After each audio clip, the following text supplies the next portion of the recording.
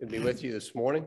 It's been a while since I've spoke on a Sunday morning, but certainly good to be with you and give you a lesson this morning. I changed the title of this lesson when I originally started working on it to, to uh, something different. But you can see from the reading here, and I won't read the whole thing, but you guys are familiar with the story. Jesus was talking to scribes and Pharisees, and he was really being critical of them. He talks about uh, verse six there, and they love the place of honor and feast, the best seats of the synagogues. At the end of that, he says, The greatest among you shall be your servant. Whoever exalts himself will be humbled, and whoever humbles himself will be exalted. And so we're going to really talk about. And I did a lesson a while back on being a servant. But today we're going to talk about staying humble and kind. Originally titled this lesson, uh, got the uh, mic sign from my wife, so I think we're on. Um, about pride can can lead to a fall. That's originally the thought that I had, and it's really derived from even myself throughout my life. I know it's something we'll constantly battle as you're young and you grow older and you become more educated, you experience success. And um, so this idea of staying humble and kindness, sometimes there's a song that really, it's got a great melody. And just the melody really resonates with you, but the words are bad. You know, there was a song, Take Me to Church. I don't remember that song first came out. I said, This is a really cool song. I started singing it, and then I finally said, I don't know, saw the lyrics and read. So this is terrible message. And I had a hard time getting that song out of my head. You know, take me to church. You think that's a good song. Now, every once in a while, you get a cool melody and you get a song that's got a good lyric. And that was, this was this song. When this song came out, Humble and Kind, it really touched me and touched a lot of people. In fact, it won a Grammy Award. It was a top country song of the year. Um, so the message really was an important one, and we're going to really kind of focus on that. Obviously, look at some scriptural examples and lessons of how this message is important. Just want to draw your attention to a couple things in this song. He, he starts talking about, and he's got three daughters. You don't know um, uh, Tim McGraw and his wife Faith. They had three girls, and I could just see him singing this song to his daughters. Uh, Lori McKenna actually is the author of the song, the writer, so she deserves most of the credit for the for the messaging there. But you can just you can just understand how a father would sing this song to his daughter or son. And so the idea is, you know, uh, talks about you know leaving the door under the mat, and so they could come home anytime they want. Kids leave home, and then but their parents obviously they're always welcome to come back. Uh, it talks about visiting your grandpa every time, every chance you get.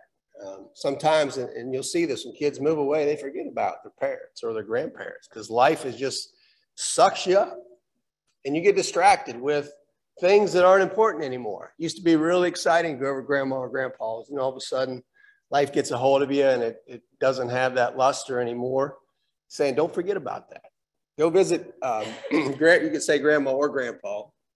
Um, and again, this message always stay humble and kind because that's what happens when when you grow up. Sometimes you get prideful, and um, we're not humble and we're not kind because the world sucks in sucks us in, and we become very prideful in our abilities and our successes. It's so easy to let pride get a hold of us. Um, talk simple things, holding the door and, and saying please and saying thank you you know, I don't know if you know, guys know the young man there, Jude. He'll, he'll go back and open the door a lot of times for us. We say, okay, why is he doing that? It's just a simple gesture, but it's kind, isn't it? Uh, just simple things in life, everyday life, things that you do can have an impact. Um, it says, when your dreams, your dreaming come to you. And you're going to have, you know, there's going to be success in your life. There'll be failures, but there's going to be success. But the point here he's making is when that happens, in the work you put in is realized, let yourself feel the pride, but always stay humble and kind. Um, he means pride here in a good way, being thankful for the things you accomplished, but stay humble and stay kind. It's so easy to get prideful. Um, don't hold a grudge or a chip. Here's why he says bitterness keeps you from flying. So um, when you come prideful, a lot of times you there's bitterness, there's resentment maybe toward someone, and um, don't let that grudge or that chip keep you from flying or excelling. It will. It'll hold you back. Um, at the end there, just go to the end of the song, and again, you can go back to the lyrics. There's a lot of good messages here. But he says, um, "Don't take for granted the love this life gives you. When you get where you're going, don't forget to turn back around. Help the next one in line. Always stay humble, kind." Very good, great message. Very good song. Uh, again, one of my favorite songs. Um, and that's really what the lesson is going to be about today: is being humble and being kind and not being prideful.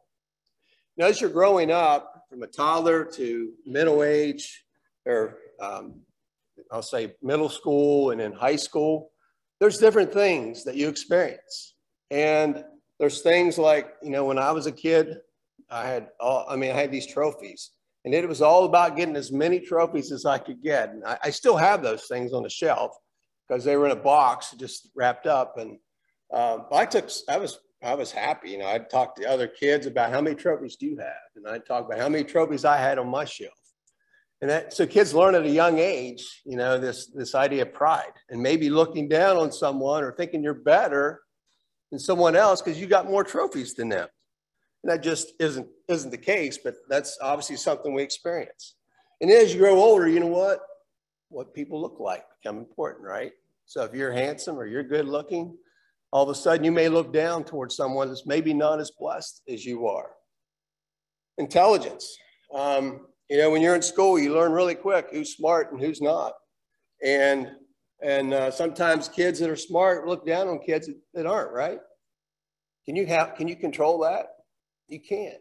You can you can learn more, but your your basic IQ, you know, you're kind of you're either gifted with it or you're not.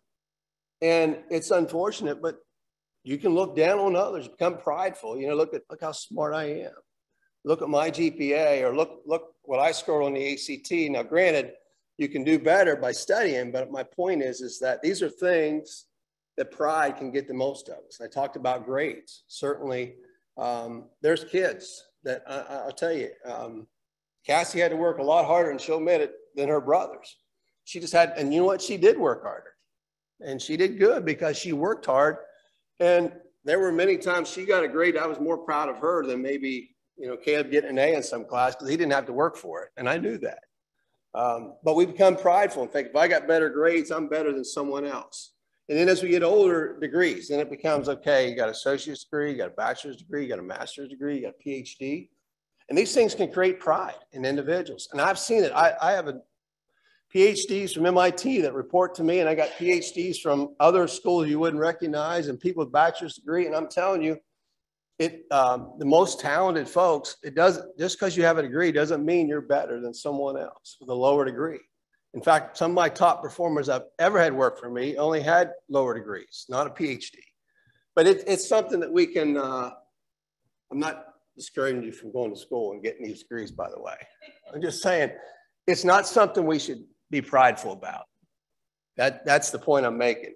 And in profession, you know, there's certain professions we look up at, other ones we think, oh, uh, I'm better than them because they do this and I do this, and my, and my profession's more highly regarded. And so my point I'm making is throughout our lives, there's thing, and of course, finally, money. That's just the possession of worldly things, whether it be my car, my house, um, you name it, land that I own. Um, we can become prideful in those things and feel elevated and look down on others because of that. You know, when I was in school, I was always a short guy. Um, I mean, from the point that I was in grade school, I was with me and Beth Bunny, we were always at the end of the line. I don't know why they lined you up by height, but that was, you know, remind me, hey, you're one of the shortest ones in the class. Um, but that, and so I knew what it felt like, somebody looking down, literally looking down on you.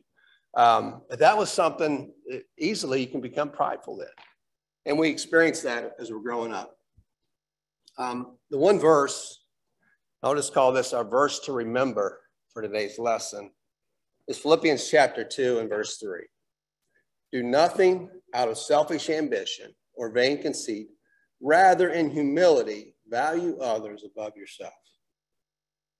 And that needs to be something that we ingrain in our minds, no matter how successful we are no in our careers, in our lives, in regards to money and wealth, we need to remember that we should do nothing out of selfish ambition, thinking I'm, I'm, it's all about me, but rather we need to be humble and we need to esteem or value others above ourselves.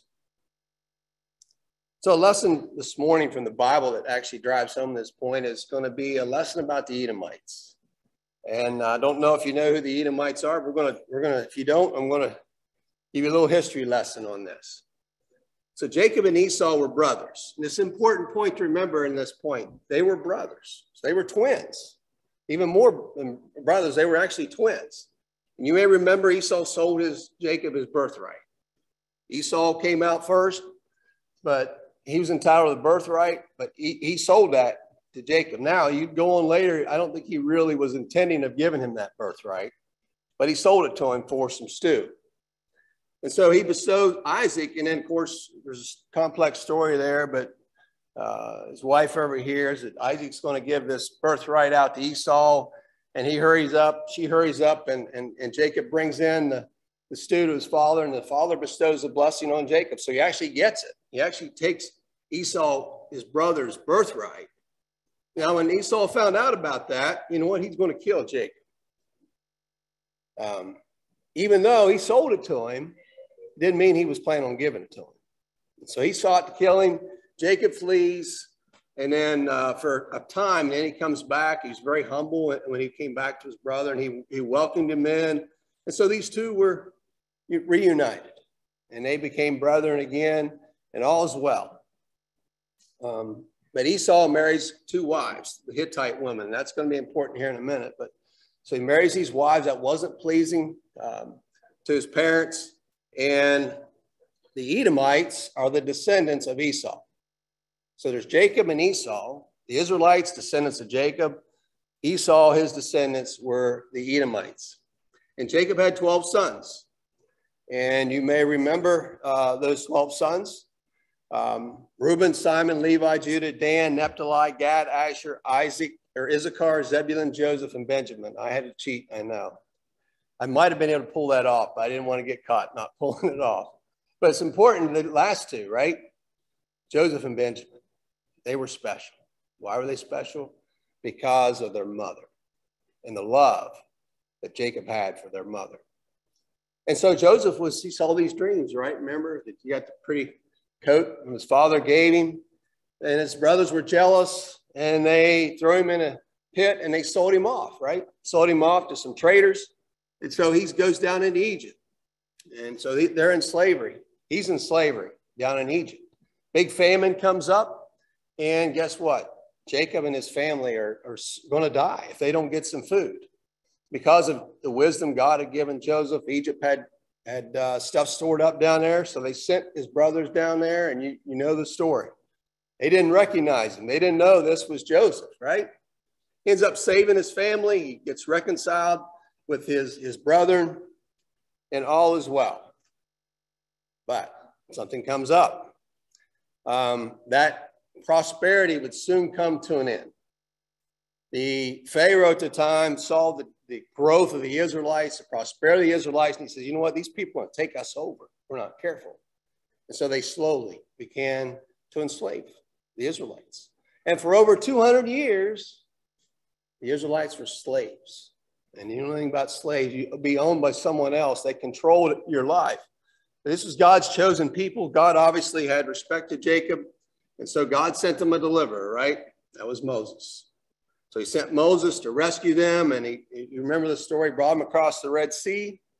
And, uh, and, and of course, they're going back to the promised land. The promise made to their father Abraham that they're going to go to the promised land. And they wander, and then they come upon some land that they needed to cross over the land of the Edomites. Remember, Jacob and Esau were brothers. So this is Esau's kin. So these are the brothers, these two brothers, it was, it was their, their families. Um, so they come up to Edom. They had a long journey there. And uh, in Numbers 20, in verse 14, verse 21, it says, From Kadesh, Moses sent messengers to the king of Edom Thus says your brother Israel. So he reminded him Israel was Edom's brother. He says, um, You know all the hardship that have befallen us, that our ancestors went down to Egypt, and we dwelt in Egypt for a long time, that the Egyptians dealt harshly with us and our ancestors. He's saying, you, Look what we went through and how we were treated. So we cried to the Lord, and he heard our plea, and he sent a messenger who freed us from Egypt. Now we were in Kadesh, the town of the border of your territory. Allow us then to cross your country. We will not pass through the fields or vineyards, and we will not drink water from wells. We will follow the king's highway, turning off neither to the right or the left until we have crossed the territory. Saying, We'll come through. We're not going to eat your food. We're not going to disturb anything you own. Even though we're brethren, we're not going to ask that of you. But Edom answered him, You shall not pass through us, else we will go out against you with a sword the Israelites said to him, We will keep to beaten track. If and if we, our cattle, drink your water, we will pay for it. We ask only for passage on foot. It is but a small matter. You shall not pass through. And Edom went out against them in heavy force, strongly armed, so Edom would not let Israel cross the territory, and Israel turned away from them. They wouldn't let him come through, even though they were brother, Esau and Jacob, descendants. They would not let him come through. The Edomites were very prideful people. You might say, why? What generated this pride? Um, so they were in a place called, a mountain called Selah.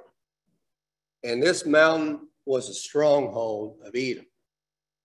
And they felt confident they could not be conquered because of what they, they built this, literally this kingdom around this giant rock fortress.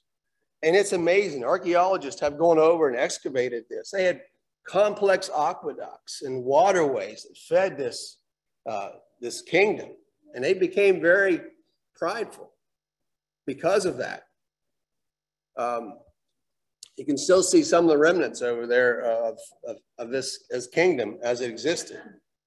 Um, you go up there, these they complicated caves and walls, and they felt fortified.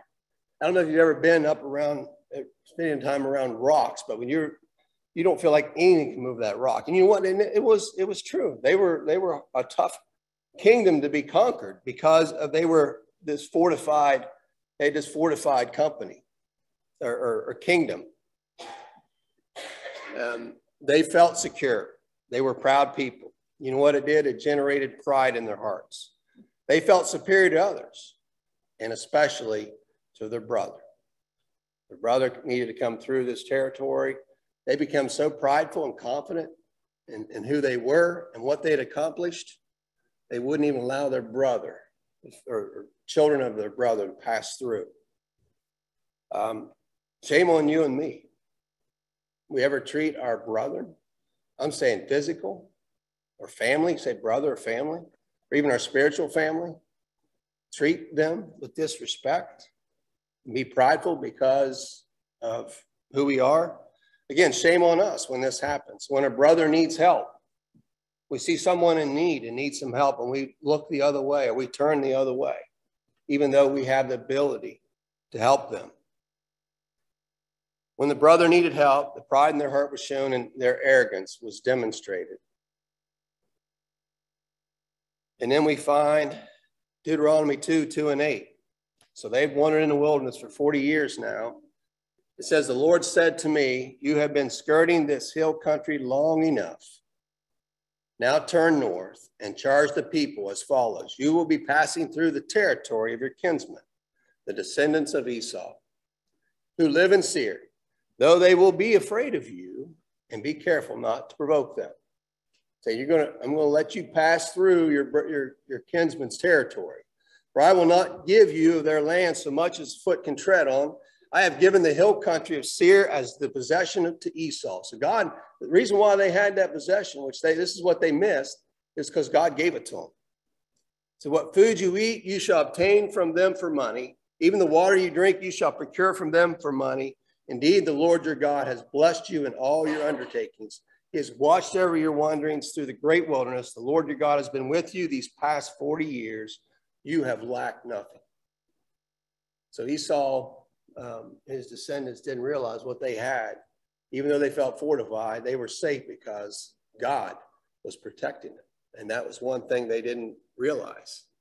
And then we come to the, the point that I'm bringing in, in for the example of today's lesson. And that's in Obadiah chapter 1.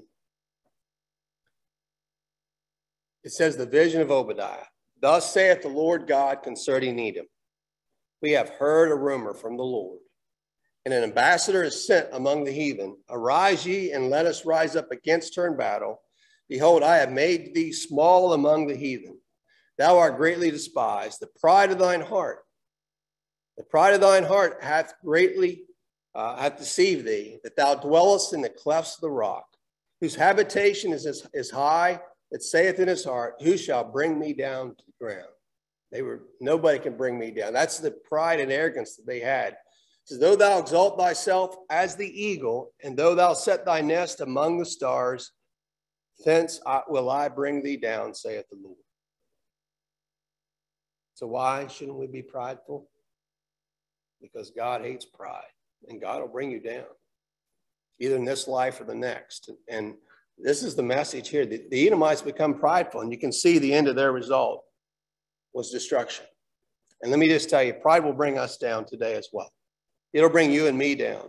Proverbs 8 13 says, To fear the Lord is to hate evil. I hate pride and arrogance, evil behavior, perverse speech. God hates pride. When pride comes, then comes disgrace, but with humility comes wisdom. The Lord detests all proud heart be sure of this, they will not go unpunished. And so we think about, and you've seen this in public, a child uh, talks back to a parent or talks badly about their parents, disrespects those in authority. And let me tell you, children out there, uh, don't let this be descriptive of you. Um, respect your parents. Don't be proudful. Respectful and be humble in the, in the presence of your parents and authority because of the way they treat their parents, they treat teachers and others who may have authority over them. We shouldn't be that way. We can't be that way because God doesn't want us to be that way. James 4 6 says, But he gives more grace. Therefore, it says, God opposes the proud, but gives grace to the humble. Jeremiah 9 23 and 24 says, Thus saith the Lord, let not the wise man boast in his wisdom, let not the mighty man boast in his might let not the rich man boast in his riches, but let him who boasts boast in this, that he understands and knows me, that I am the Lord who practices steadfast love, justice, and righteousness in the earth.